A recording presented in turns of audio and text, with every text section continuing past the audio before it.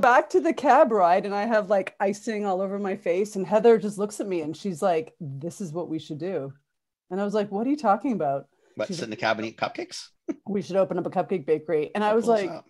I was like, Heather, we've never even worked in a Starbucks. Like, I don't know how to make cupcakes. Like, neither one of us had ever worked in a food environment. right. And um, so I, you know, being a typical best friend, I just called her out, thought she was crazy.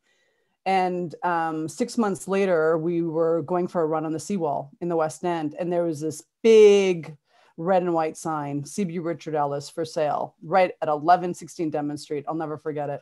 Shannon Thornley, 604 662 3000.